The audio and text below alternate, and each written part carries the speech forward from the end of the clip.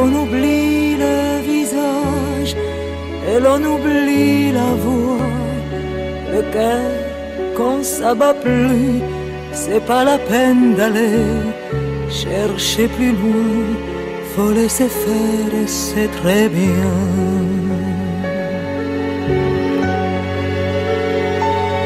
Avec le temps, avec le temps tout s'en va. L'autre qu'on adorait, qu'on cherchait sous la pluie, l'autre qu'on devinait au détour d'un regard, entre les lignes, entre les mots et sous le phare d'un serment maquillé qui s'en va faire sa nuit. Avec le temps, tout s'évanouit.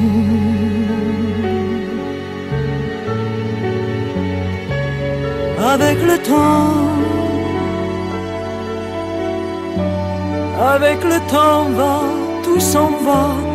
Même les plus chouettes souvenirs s'attaillent de ses gueules à la galerie farfouille dans les rayons de la mort le samedi soir quand la tendresse s'en va toute seule.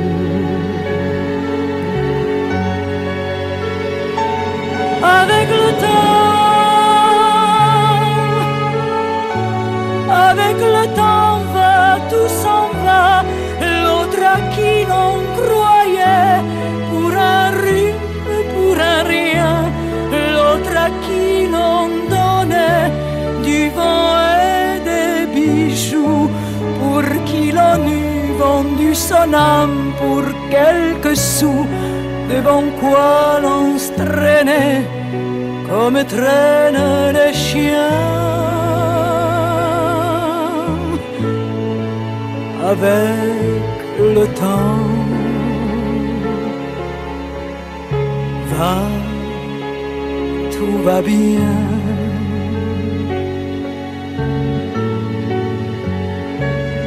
Avec le temps, avec le temps va, tout s'en va. On oublie les passions et l'on oublie les voix vous disait tout bas les mots des pauvres gens. Ne rentre pas trop tard, surtout ne prends pas froid.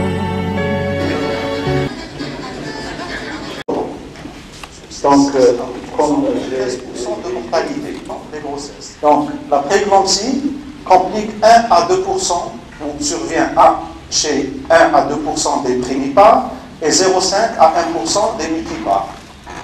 Pour les facteurs de risque, j'ai noté quelques facteurs de risque. Il y a la nulliparité, la consanguinité, le long intervalle entre deux grossesses, la multiparité, les anomalies chromosomiques, l'âge tardif, plus de 40 ans, l'association hypertension artérielle et diabète, la descendante de femmes ayant fait déjà une pré-éclampsie, les maladies auto-immunes, et les néphropathies et les femmes porteuses de greffons.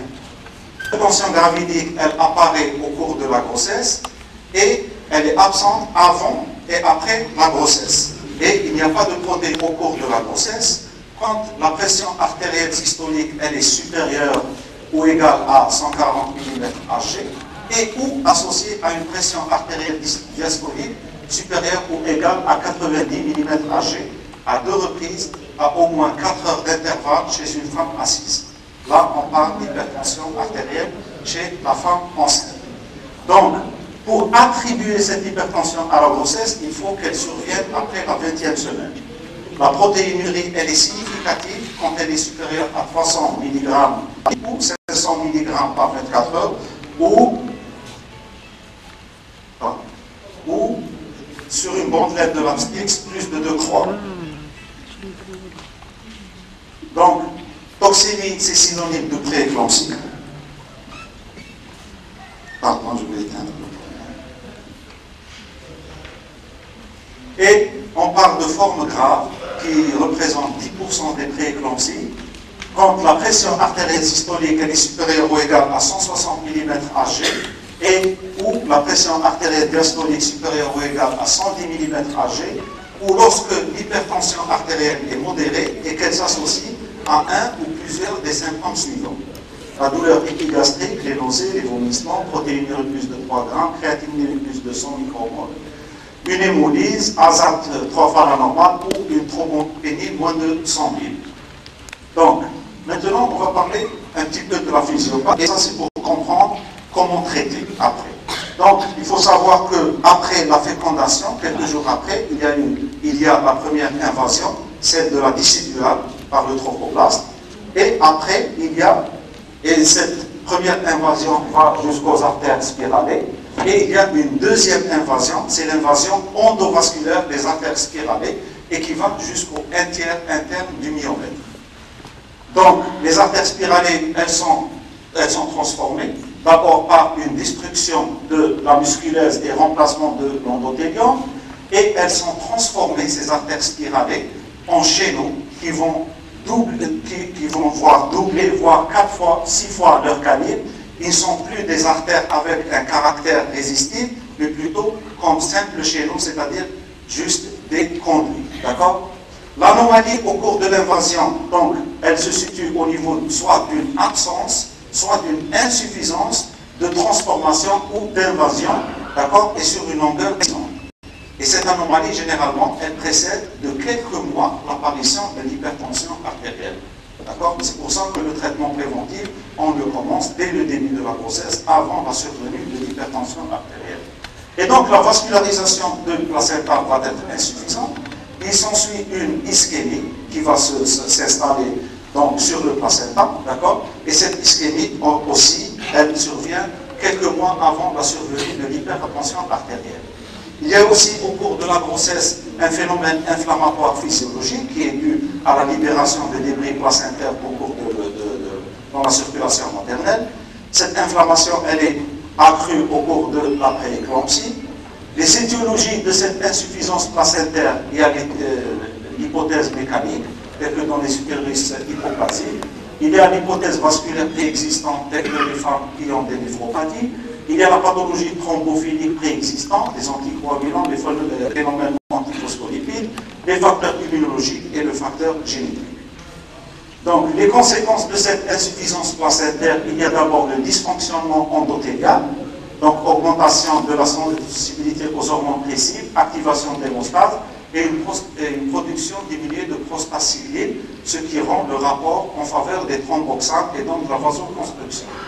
Donc, deuxièmement, il y a l'hypertension artérielle qui est due à la perte de la vasodilatation et l'apparition de vasoconstruction. D'accord Et il s'ensuit un volume plasmatique qui est très abaissé dans les formes sévères. Donc, autre conséquence, il y a la néphropathie par diminution de la filtration globérulaire et qui est due à une endothéliose glomérulaire et une, endartérite fibroblastique. Sur le plan hémostase, on a une thrombopénie modeste dans la plupart des cas. Au niveau hépatique, on a une cytolyse modérée, voire un hématome sous-capsulaire, des hémorragies périportales, des dépôts de fibrine et des lésions ischémiques. Au niveau du cerveau, une crise d'éclampsie, c'est l'éclampsie, qui est généralement dit qui est due à un dépôt de fibrine, d'accord, ischémie focale par dépôt de fibrine ou vasoconstriction, il y a le classique œdème cérébral et l'encéphaloplastie hypertensive. Donc, il s'ensuit des complications maternelles et fœtales. Les principales complications maternelles, il y a neurologique à type d'éclampsie, œdème cérébral, il y a l'hémorragie cérébro-méningée, l'hémorragie intracérébrale et la morose. Hépatique, c'est le fameux HELP syndrome, et l'hématome sous-capsulaire du foie. Hématologique, c'est l'anémie, l'hémolyse, la CIVD et la fibrinolyse. Sur le plan cardiopulmonaire, on a l'infarctus du myocarde et le l'œdème aigu du poumon, et rénal, l'insuffisance rénale oligo-annulée. Complications fœtales, il y a l'hypotrophie, il y a l'hypoxie ischémie en cas d'hématome rétroplacentaire et la mort fœtale unitaire. Maintenant, on va voir la prise en charge. En charge la prééclampsie au cours de la grossesse. Donc cette prise en charge, elle sera adaptée en fonction de la sévérité et des signes de gravité de la prééclampsie et en fonction de l'âge de survenue de ces signes de gravité. Donc d'abord, il y a des mesures générales, le repos au qui est très important, un régime normosodé, c'est très important à cause de l'hypovolémie, et un apport hydrique compris entre 1,5 et 2 litres par jour pour compenser justement cette hypovolémie effectuer un bilan des entrées et des sorties et une surveillance clinique du poids, de la hauteur utérine, du périmètre ombilical, des œdèmes et de la diurèse. Donc, à l'admission, à l'entrée, ou encore, ou plus encore, dès la première consultation, si on est au ambulatoire, on va demander un groupage la femme, euh, chez la femme enceinte, on va demander une recherche des agglutinines euh, irrégulières, une formule, un taux de prothrombine, un taux de céphaline activé, azat et adat, créatinine, aptoglobine, glycémie et protéinurie des 24 heures. On va faire un rythme cardiaque fœtal à la patiente, une échographie et un Doppler et une consultation d'anesthésie. Ça, c'est le premier apport. Ensuite, au cours de l'hospitalisation, la surveillance aussi sera modulée par la sévérité de cette prééclampsie. Si sa tension, la tension artérielle est contrôlée, on fera une quantification des apports et de la diurèse chaque jour un bilan d'hypertension artérielle qui comprend une formule fonction hépatique, fonction rénale et une protéinurie de 24 heures. L'hospitalisation, elle est facultative. On n'est pas obligé d'hospitaliser la patiente. Bon, si la pression, si la systolique est supérieure à 15, c'est-à-dire 150 mm Hg, et la diastolique supérieure à 10, à plusieurs reprises, malgré le repos, on va entamer un traitement anti-hypertenseur. On commence par une monothérapie si ça ne marche pas, on sera obligé d'administrer au-dessus de ces chiffres, c'est-à-dire de 15-10, en sachant que, que l'hypertension artérielle, elle est là comme un moyen de protection contre l'hypovolémie pour le fœtus. D'accord? On utilise comme anti-hypertenseur centraux, j'ai choisi deux exemples. Il y a le méthyldopa, le fameux altomètre, comprimé à 250 ou à 500, on peut aller jusqu'à 6 comprimés par jour, c'est-à-dire 1 g 700.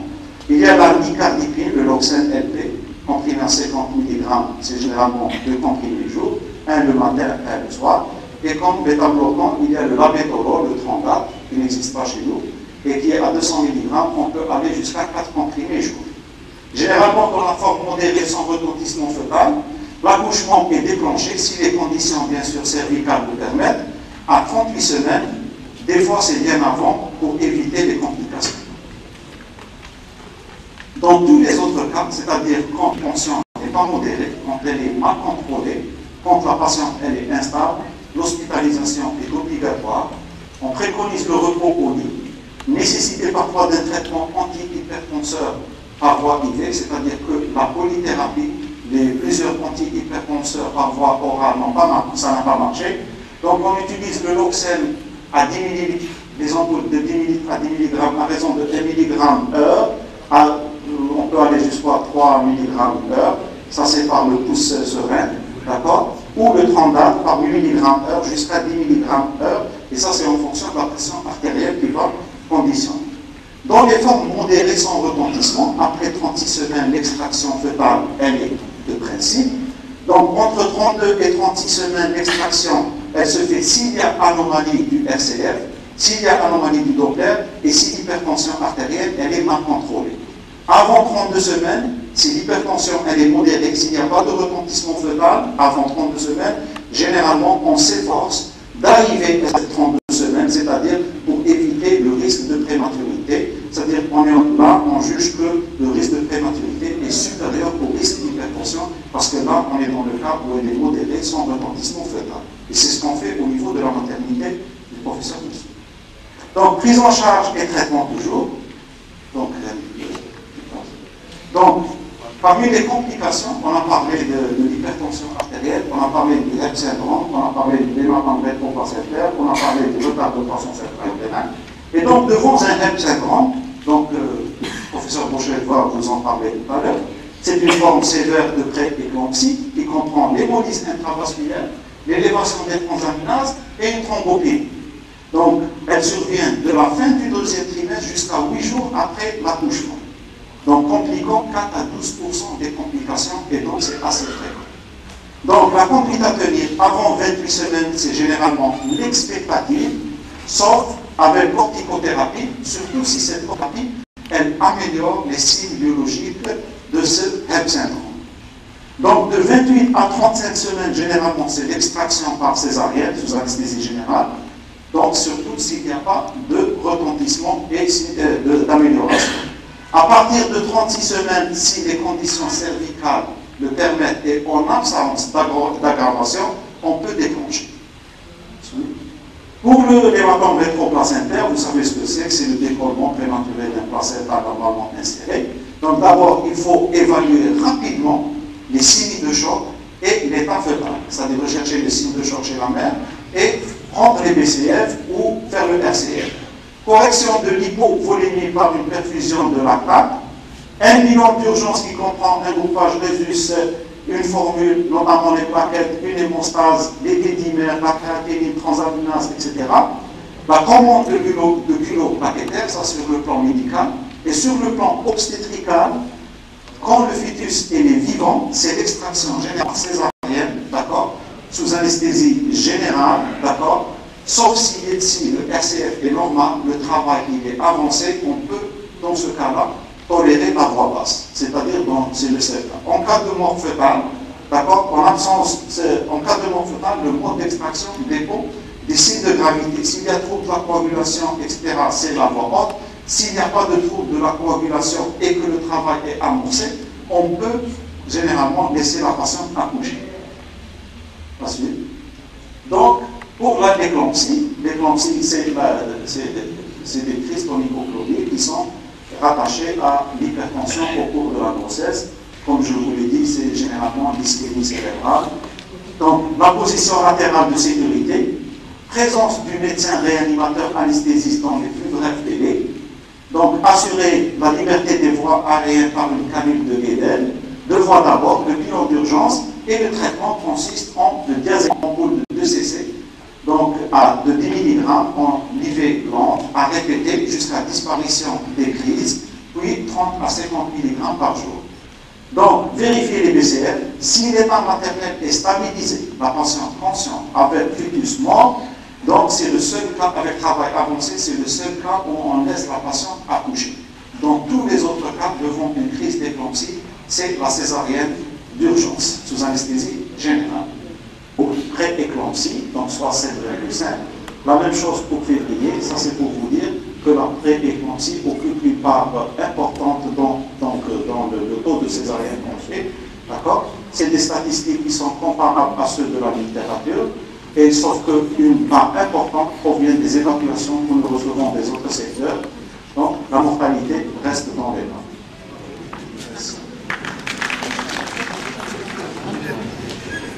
Alors, docteur curieux de dire de votre ville, mais nous travaillons pour Schleff. C'est une ville euh, qu'il faut, qui mérite qu'on lui accorde notre attention. Et nous recevons de Schleff, ni de rien. Docteur Boucher va vous continuer dans le même ordre d'idées pour nous présenter le HELP syndrome.